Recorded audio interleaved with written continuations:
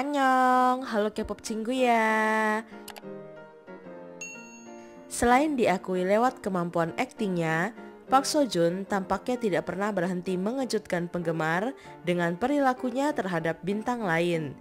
Baru-baru ini, aktor kelahiran 1988 tersebut mendapat perhatian atas perlakuannya terhadap Ayu.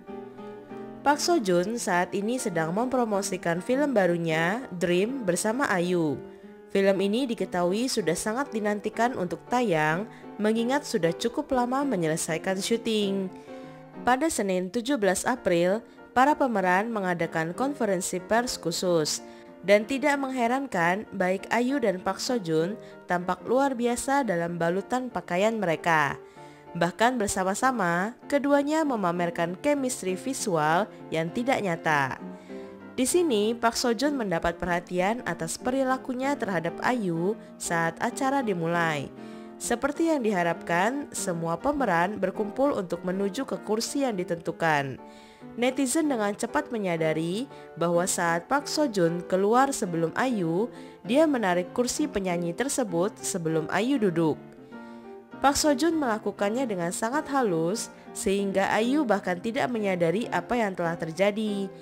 Setelah melihat momen ini, netizen tidak bisa berhenti mengomentari kepribadian Park Seo Joon. Mereka memujinya karena bersikap seperti seorang gentleman bersama dengan beberapa pemeran lainnya. Chemistry dari Park Seo Joon dan Ayu pun sukses membuat para penggemar gemas bukan main. Pada salah satu momen yang tersebar di media sosial saat ini, Park Seo Joon tampak salah tingkah ketika diperhatikan oleh Ayu. Park Seo Joon pada awalnya duduk santai di sebelah Ayu. Lalu Ayu memperhatikannya seraya tersenyum. Park Seo Joon pun tampak malu-malu. Ayu sampai tertawa pada momen tersebut. Para penggemar dibuat gemas bukan main dengan interaksi keduanya. Momen keduanya disebut membuat semakin tak sabar untuk menonton film Dream.